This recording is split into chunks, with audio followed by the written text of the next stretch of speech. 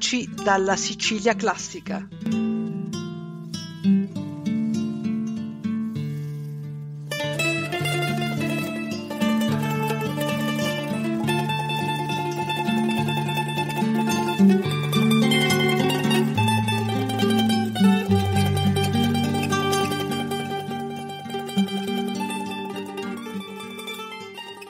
Sono come marionette e il loro filo e la passione. Sono tuttavia uomini, uomini ridotti marionette e dunque profondamente pietosi.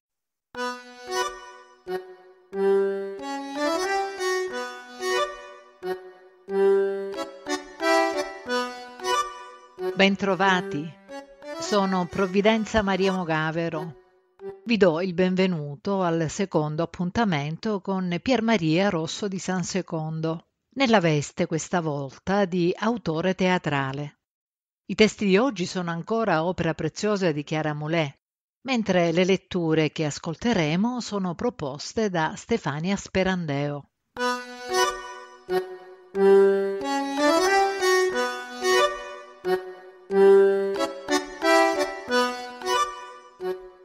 La prima vera e propria testimonianza delle tendenze del teatro di Pier Maria Rosso di San Secondo va rintracciata nei sette componimenti delle Sintesi drammatiche, pubblicate nel 1911, ma composte tra il 1905 e il 1908. Qui Rosso eh, si allontana dal teatro borghese ottocentesco e dal dramma storico, ed inizia un periodo di sperimentazione, dove il linguaggio è ridotto all'essenziale e i contenuti indagano su temi come la vita, la morte, la passione o l'incomunicabilità. Emblematiche nelle sintesi sono la notte e l'occhio chiuso.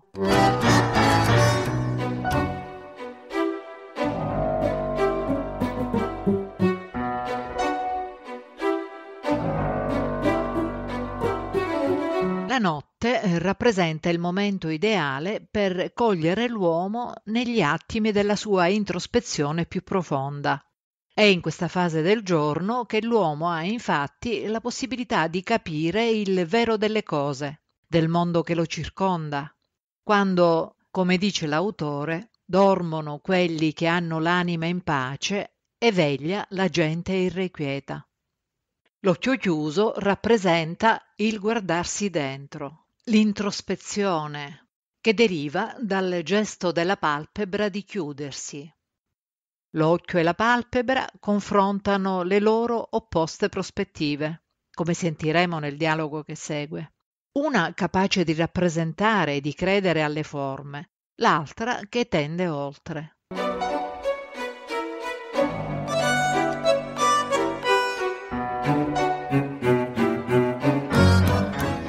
Gente di taverna, veglia a quest'ora o gente irrequieta. Dormono quelli che hanno l'anima in pace. E quest'uomo non è in pace. Lo so, ma tu chiuditi. Questi mi tormenta. Sforzati. Ma perché tanto interesse? Quando ti chiudi, io mi ricolgo e guardo dentro. Che vedi? L'angoscia di quest'uomo, raffigurata in ombre, in persone, in gesti. Io rido, vedo un essere che si tormenta per nulla.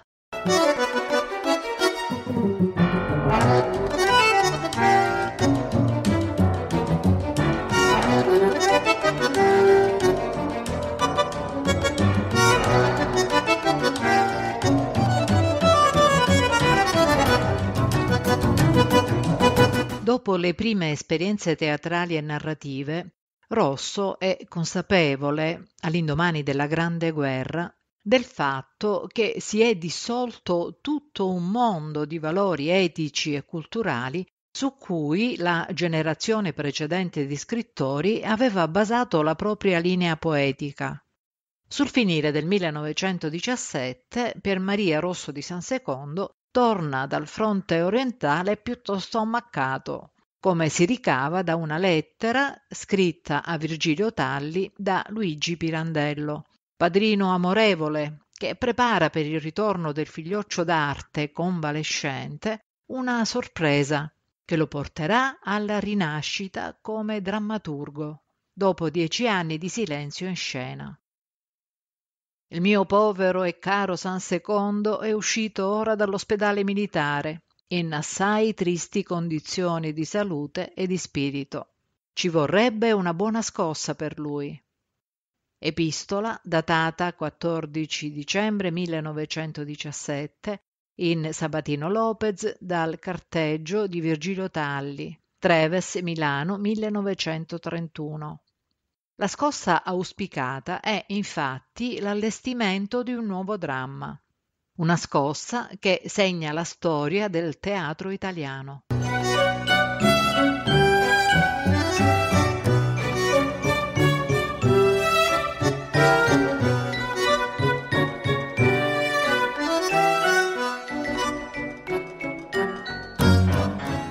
Pirandello si fa subito promotore dell'opera drammaturgica di Rosso di San Secondo. Nel 1917 impone quasi al capocomico Virgilio Talli la rappresentazione dell'opera Marionette, che passione. L'ormai affermato capocomico si mostra inizialmente perplesso per come il pubblico, ancora impreparato alle novità che propone l'autore, avrebbe potuto accogliere quest'opera. L'insistenza di Pirandello porta infine alla rappresentazione del dramma. La sera del 4 marzo del 1918 al Teatro Manzoni di Milano va in scena Marionette, che passione! La commedia in tre atti è costituita da un preludio che contiene l'avvertenza per gli attori.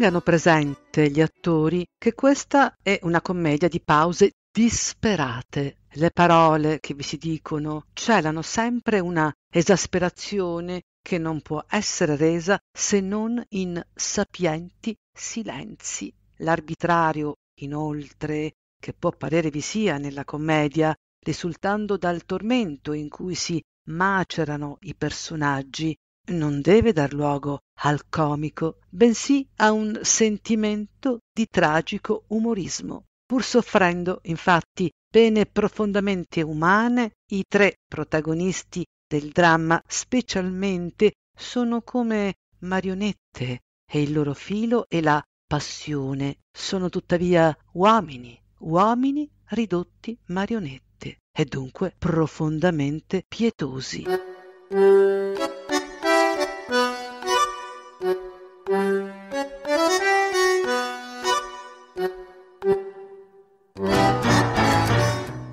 L'opera teatrale va in scena per la prima volta con l'interpretazione di Maria Melato, la signora dalla volpe azzurra, Annibale Betrone, il signore in grigio, Ettore Berti, il signore a lutto, e Ione Frigerio, la cantante. L'esito è contrastato e soltanto dopo la prima parigina del 1923 ottiene un enorme successo e registra un'elevata risonanza soprattutto nel mondo della critica teatrale, che da allora prenderà il sopravvento su quella letteraria.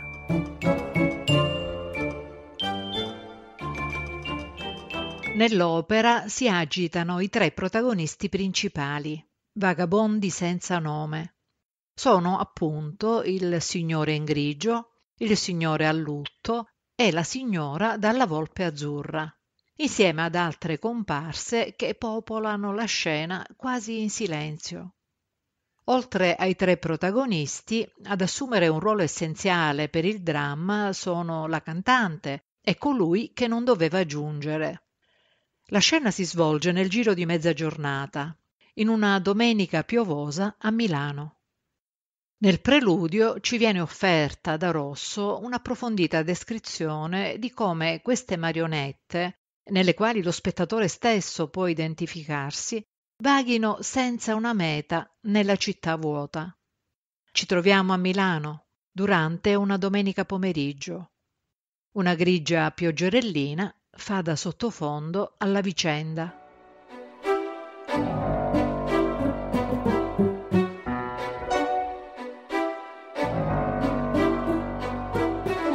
Lunghi pomeriggi domenicali, con le strade deserte, le botteghe chiuse e un cielo grigio, desolato, sullo squallore della città. Sul lastricato picchierella un'uggiosa pioggiolina che sembra non deva finir più. È un venticello noioso, tratto tratto, facendo variar l'acqua sulla via porta le note monotone, lamentose d'un organino lontano, lo stridio di un violino, dell'orchestra di un caffè o le risate sforzate di una comitiva che va saltellando coi piedini ben calzati fra le pozzanghere, illudendosi di traversar la strada senza bagnarsi. Gli sperduti nel mondo, i senza casa, i vagabondi che tra la vita febbrile della settimana si sfiorano forse cento volte il gomito senza riconoscersi, si ritrovano e si riconoscono in questi desolati pomeriggi domenicali, quando gli altri, liberi del lavoro feriale, trattenuti dalla famiglia o dalle relazioni di amicizia, nel calore chiuso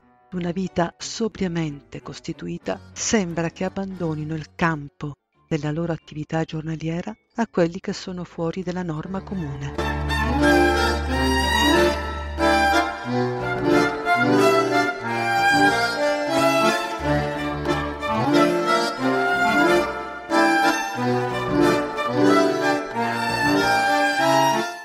Tre personaggi, privi di identità, non sono altro che la crisi e lo smarrimento dell'umanità, destinata inevitabilmente alla solitudine. Essi, infatti, estranei l'uno all'altro, si incontrano per caso nell'ufficio di un telegrafo e finiscono per confidarsi le loro infelici passioni, cercando invano di istituire fra loro un rapporto.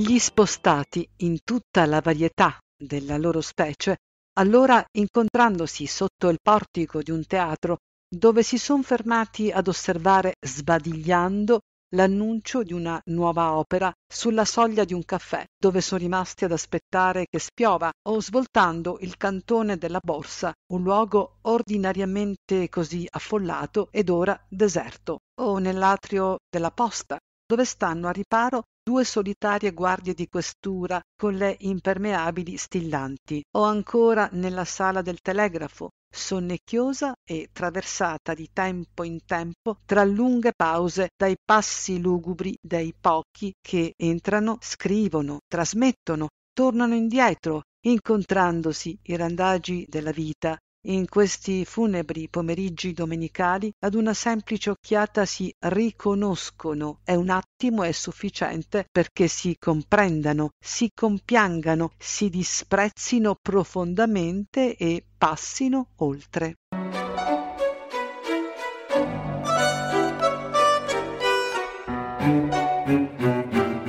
Il punto di partenza il come i personaggi siano giunti al momento iniziale del dramma e attraverso quali vicende non importa. La vera protagonista è la passione che divampa in essi.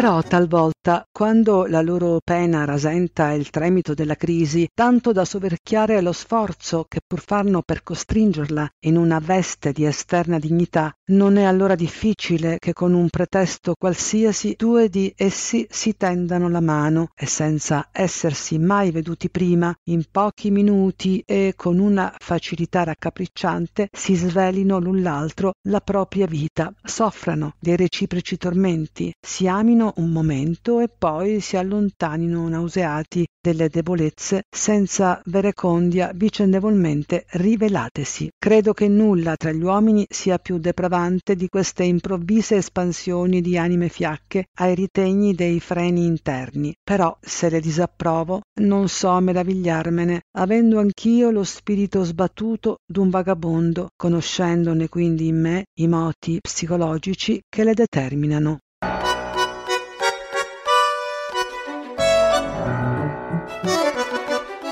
La passione, dunque, è l'unico spiraglio nel cerchio chiuso e senza speranza della vita dell'uomo. L'ansia con la quale i personaggi sansecondiani perseguono ogni tipo di avventura amorosa, sino a spingerla all'estremo limite, non ha mai un movente che sia esclusivamente sessuale. è sempre alimentata da una speranza più generale, che porta prima o poi l'uomo a una dissoluzione totale. Per questi eroi drammatici la passione è la maniera più immediata per evadere verso una vita che essi sperano sia piena di nuove prospettive, ma che si rivela essere la medesima trappola dalla quale tentano di fuggire. Per mettere in scena questo spaccato di vita quotidiana, Rosso sceglie il genere medio, che gli permette di interloquire meglio con il suo pubblico, L'autore inventa così anche nuove forme linguistiche. Avviene la rottura del dialogo tradizionale.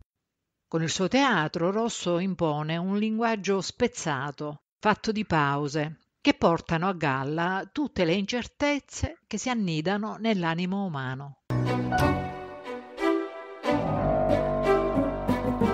Come accennato prima, l'autore fa incontrare i tre protagonisti identificati da un colore del vestito, all'interno della grigia sala di un telegrafo, in un luogo comune, solitamente affollato, dove le persone entrano ed escono per comunicare le proprie gioie o le proprie sofferenze.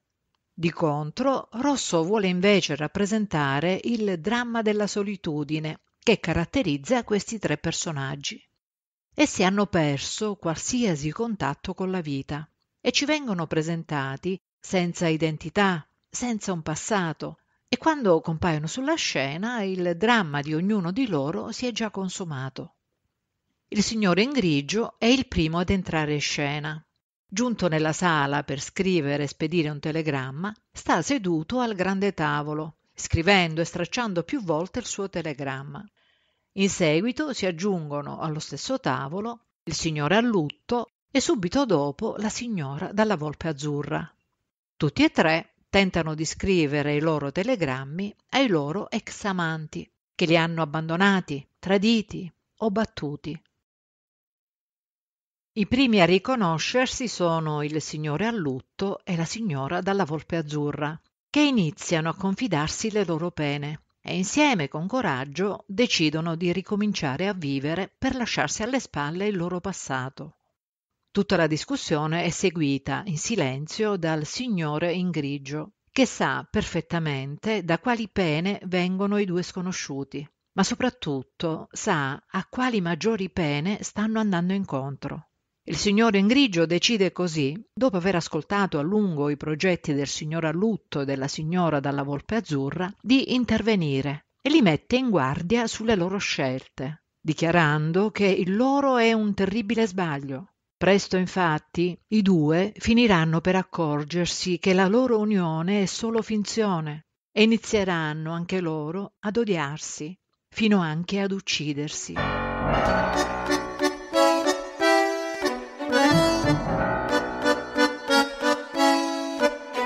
Vedete? È bastato ch'io, un estraneo, picchiassi alla vostra coscienza e siete ricascati. Ma su, signori, non abbiate cotestaria umiliata dinanzi a me. Io non sono né un ispettore di polizia, né un giudice istruttore, né voi stavate per commettere nessun delitto contemplato dalla legge soltanto poiché io sono uno sciagurato come voi nell'ascoltarvi da quest'angolo di tavolo ho avuto rabbia, pena, angoscia nel vedere rispecchiata in voi la mia stessa miseria. Pazzie, signori miei, credete a un uomo che è stato per commetterle tutte. Quest'uomo le ha pensate tutte. Poi ha compreso che la passione era invincibile, che bisognava lasciarla logorare piano piano.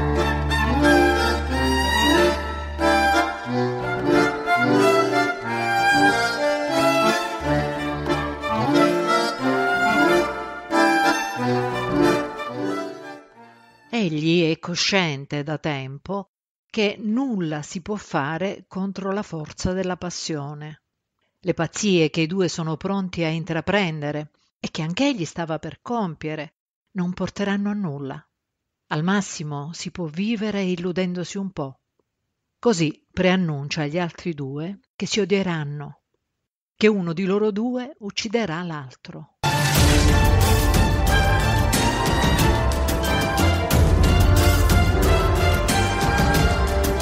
Signore in grigio è l'unico dei tre ad avere perfetta consapevolezza che la vita non abbia soluzione.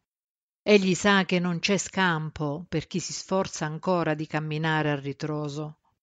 Volendo diventare un personaggio attivo, non più marionetta, accetta la privazione dell'amore e desidera la propria morte.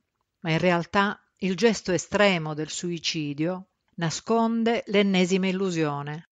Non è manifestazione di libertà del soggetto, ma definitiva vittoria dell'oggetto d'amore perduto.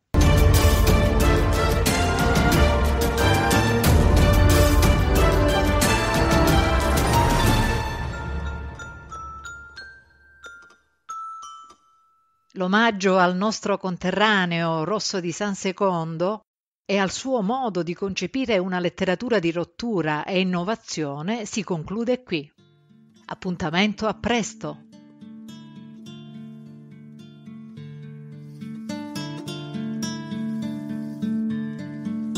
Avete ascoltato Voci dalla Sicilia Classica, una rubrica di Caleidoscopio a cura di Provvidenza Maria Mogavero e Mariangela Pupillo.